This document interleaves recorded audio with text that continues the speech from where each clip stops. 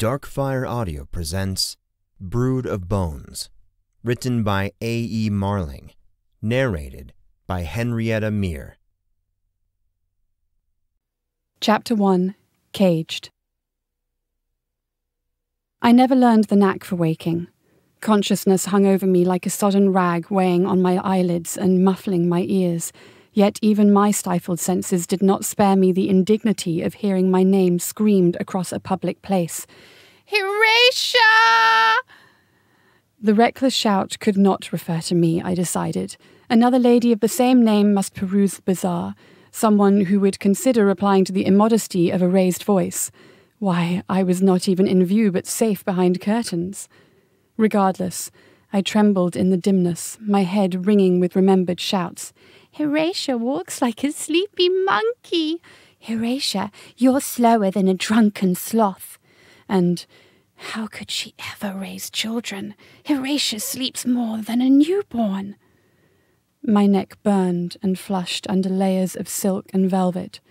Gowns that had comforted me in the frigid climate of the academy now smothered, and I began to pant, sweat running down my back like a millipede with a thousand tickling feet. I had to disperse the heat building inside me, though deep breaths only drew in more hot air. My lungs smouldered and my chest refused to move altogether when the worst happened. A woman screamed my name again. Hiresha, don't leave me to die!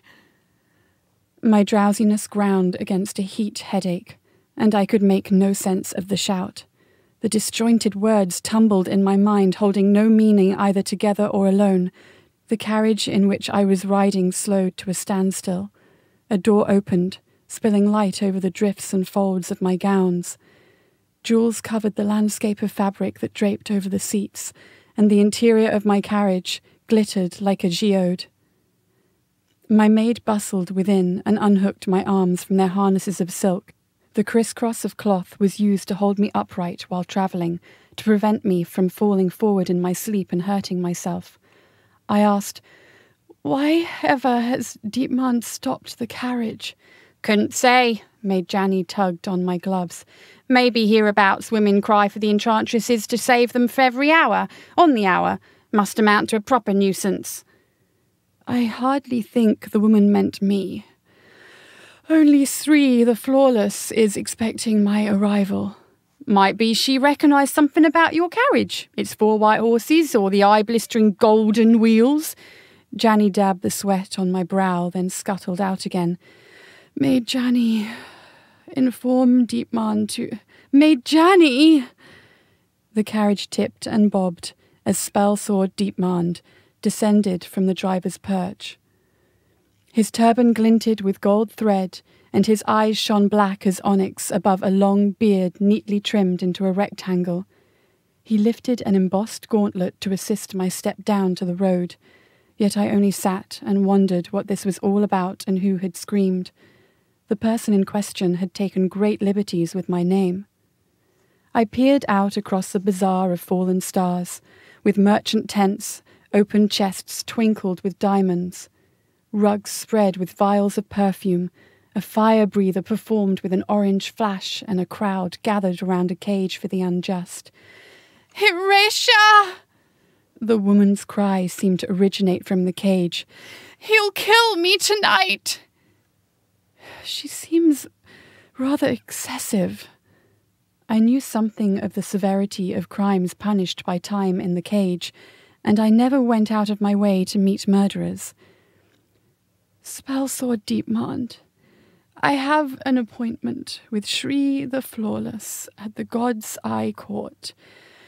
You may take me there now. May I take leave to suggest, he said, that the delay will be worthwhile, Elder Enchantress. Hearing him use my title in public reassured me. I was not so very old, yet being called Elder added another comforting layer of concealment.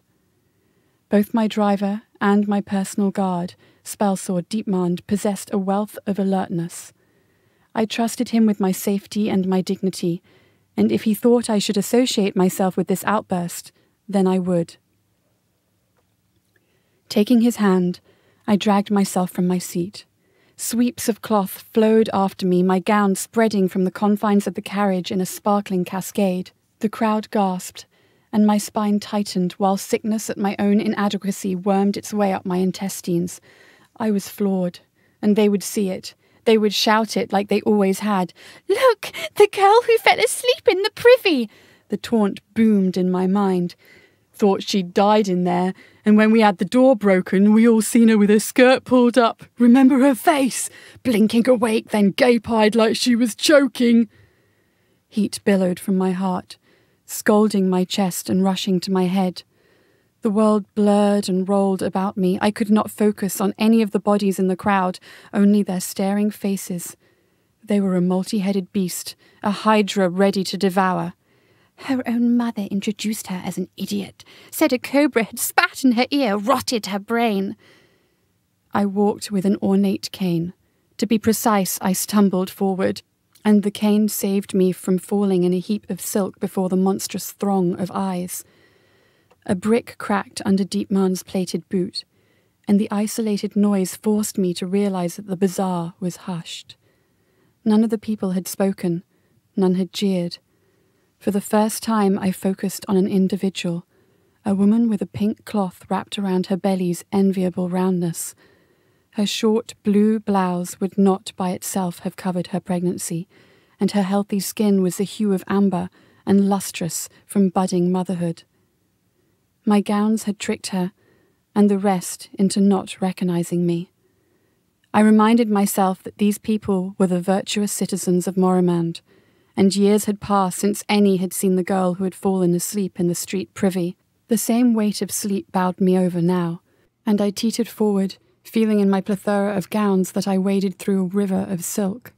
I slipped, the cane catching me at the last moment.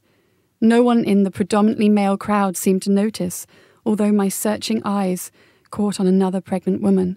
This one propped a toddler on top of her enlarged belly, leaning far back to compensate for the weight. She had a wilted look, and when she sneezed, I feared she would collapse. Her nose ran, eyes a red and blotchy shade of someone who had not slept well for a year. Meeting expectant women was always bittersweet. Half smiling and half wincing, I approached her while she held her gaze lowered. I did not imagine this demure person had been the one to call for my help, yet I reached up into the blue and green ribbons of my headdress to remove a jeweled brooch which I handed to her. Sell this, I said, and buy yourself some help and a few days' rest. She began to sob, staring down at the cluster of emeralds and gold in her hand, and I shared a moment of surprise.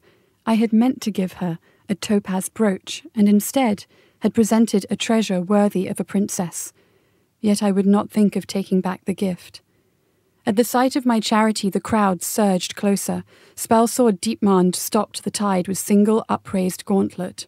He resembled a gold and bronze plated armadillo, except with a scimitar clamped to his back, large enough to decapitate an elephant.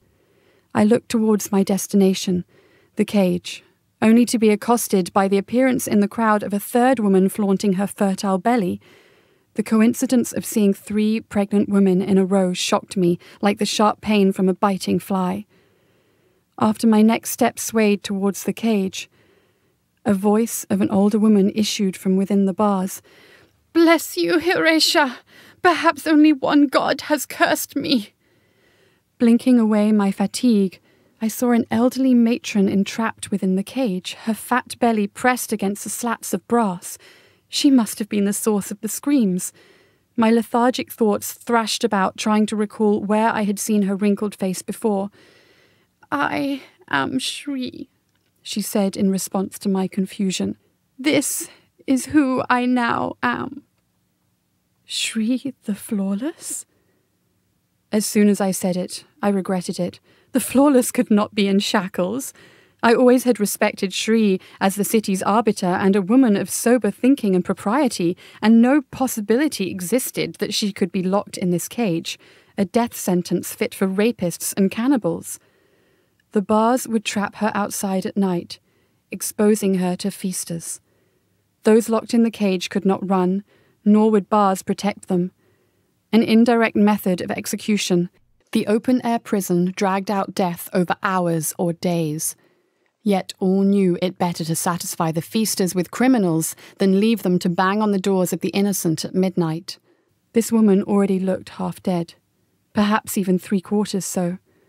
Jaundice discoloured her eyes and sleeplessness ringed them, while her white hair contrasted with her sickly yellow skin.